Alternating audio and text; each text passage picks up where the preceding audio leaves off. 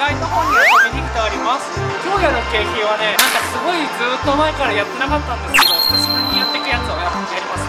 こちらこちらの台を挑戦していきます。これはねアームのくるくる回るやつなのでちょっとね狙ってみましょう。こちらの台はねレバータイプなのでいい感じにね好きな風に起こせます。どれどれ？あでこれお辞儀するんだって。でお辞儀したまま動かせる。やば。ねくる回すえ嘘？なにこれなにこれ？久しぶりにやったけどさこんなんだったっけ？へえ。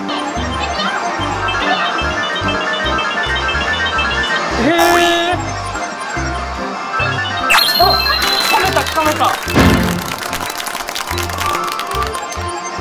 クッパゲット。あと2個ゲットしますね。でさっき覚えたことをやってみましょう。レバーで動かせる。お辞儀ボタンっていうのがあるのでそれを押すとアームがお辞儀する。でお辞儀した状態でもレバーを動かせるので好きな風に動かします。でここっていうところでアームを回す。下ろしたい時はアタックっていうボタンを押すと下ろせる。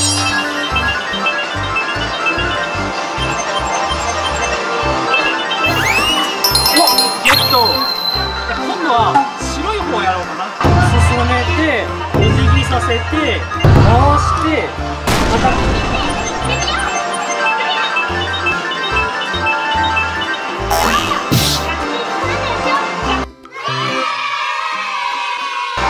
ミーの何か多分ねこれこうなんか鱗みたいなのが逆向きになってキラキラになるやつだ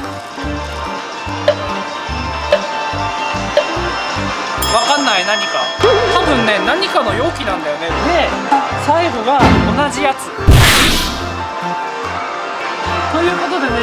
回はこちらのね3つの景品をゲットしてみました。なんだろうね。結構特殊な感じの台ですね。ということでねこちらのやつでねなんか今度ね景品変わった時にまたなんか遊びに行こうかなって思います。結構古いやつみたいですでは今日これでちょっとすごい短いんですけど終わりになります。見てくれてありがとうございました。こちらの動画の概要欄の方にねとってもお得なアプリの情報が載った URL 貼っつけておきますのでぜひダウンロードして使ってみてください。それでは次回の動画でお会いしましょう。バイバーイ。